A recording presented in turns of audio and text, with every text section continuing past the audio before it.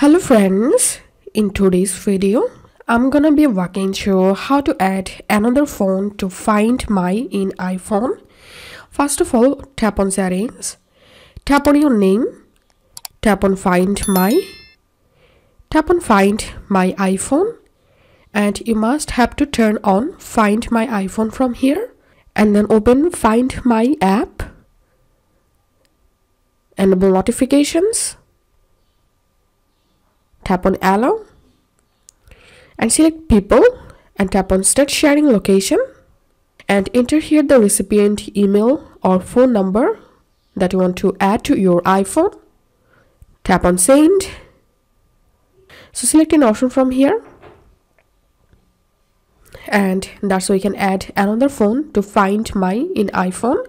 If this video help you give a thumbs up and please consider subscribe to 5 minute solution thank you for watching